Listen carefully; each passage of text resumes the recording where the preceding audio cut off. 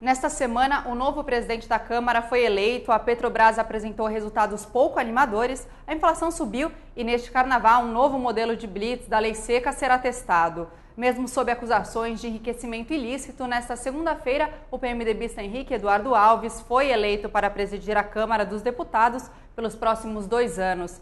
Ele partiu para o enfrentamento com o executivo e se comprometeu a aprovar o orçamento impositivo que obriga a presidente Dilma Rousseff a liberar os recursos de emendas de parlamentares. Neste dia, ele também enfrentou o judiciário, dizendo que cabe à Câmara caçar os mandatos dos parlamentares condenados pelo STF no processo do mensalão. Dois dias depois, o novo presidente da Câmara se encontrou com o presidente do Supremo, Joaquim Barbosa, e mudou o tom, dizendo que a possibilidade do Congresso não cumprir a determinação do STF sobre a perda dos mandatos é zero.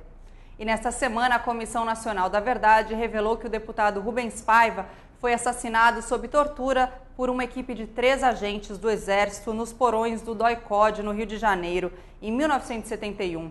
O grupo confirmou a circunstância da morte com base em documentos secretos do regime militar, mas ainda não apontou os culpados. Um dos agentes já estaria morto e outros dois devem ser convocados para depor.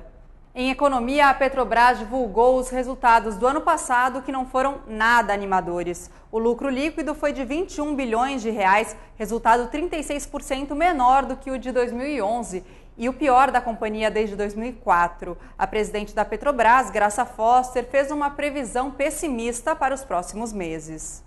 E nesta quinta-feira, o IBGE divulgou o índice de preços ao consumidor amplo, considerado a inflação oficial. O IPCA subiu 0,86% em janeiro, maior alta desde abril de 2005. O acumulado de 12 meses alcançou 6,15%. A meta estipulada pelo governo era de 4,5%. Os números repercutiram no mercado, aumentando as apostas em uma elevação da taxa básica de juros ainda neste ano.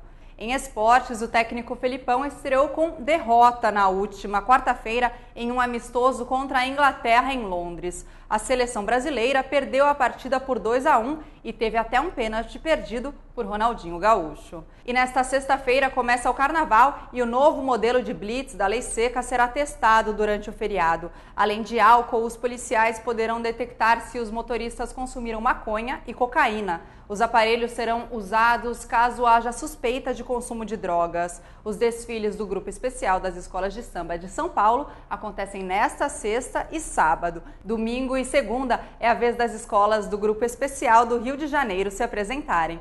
Um ótimo carnaval para você e até a semana que vem.